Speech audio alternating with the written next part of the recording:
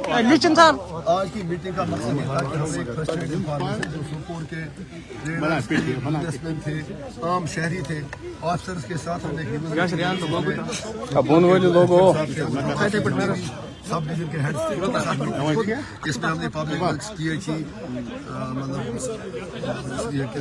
मतलब education rural development municipality लगभग हर महकमे का अहता किया और इंशाल्लाह उस फीडबैक के मुताबिक अब जो जो मसले जहाँ पर लेने होंगे, कुछ मसलों का मौके पर ही हल हुआ, कुछ मसले इंशाल्लाह हम आगे हल के लिए ले जाएँगे। बताएँ। सर अगर हम इस मीटिंग के हवाले से बात करेंगे क्योंकि लोगों ने जो मसाइल यहाँ पे रखे हैं जिस तरह से आप आपने भी उनको वहाँ पे टेकअप किया तो कब तक ये मसले हल हो जाएँगे? क्योंकि इससे पहले भी लोगों ने मसले रखे थे। जनाब जो आपने बात की सोपोर और रफियाबाद मतलब के जो दो असम्बली सेगमेंट्स हैं जो सोपोर के सब डिवीज़न में आते हैं हमें उम्मीद है इंशाल्लाह रहमान देखिए एक ही